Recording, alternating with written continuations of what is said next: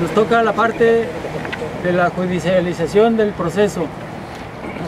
Se publicó el día de hoy, ayer y hoy una nueva demanda contra los mismos, Comité de Adquisiciones, el rectores Maldueña Molina, el rector Guerra Viera, por el, mal uso de los recursos financieros por la cantidad de 56 millones de pesos en el pago a un solo proveedor de más de mil facturas, de uniformes, de zapatos, publicidad, mantas, mamparas y demás, que de ilícita procedencia sin licitar la- las convocatorias.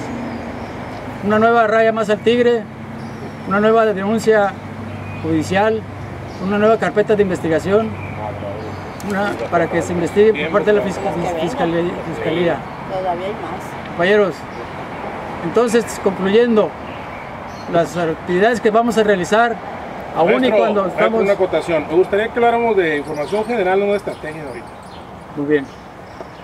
Eh, lo, que, lo que vamos a realizar en estos días es elaborar ese plan de acción de toda la estrategia diseñada, la reestructuración de nuestra- nuestro movimiento, buscar a nuestros aliados naturales que son los que ya se mencionaron y eh, participar en todos los eventos que se programen, buscando la coordinación con la ciudad de Culiacán y todo el estado. Compañeros, yo diría, estamos en un periodo temporal de vacaciones de 10, 15 días. Yo la verdad le comento que voy a salir los primeros, la primera semana de agosto fuera de la ciudad. Esa semana no estaré presente, pero el resto del tiempo, antes y después, estamos firmes para dar la batalla. Eh, ¿Alguna otra participación?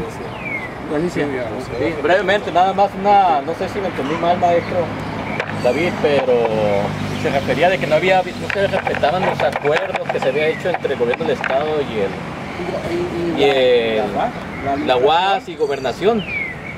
Como se están expresando Sí, los así se están periódicos. expresando. Bueno, a lo que le entendimos nosotros fue que el acuerdo fue que, los, que las instancias de Sinaloa iban a resolver.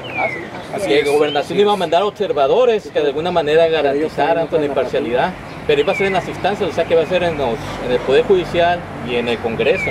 Así es.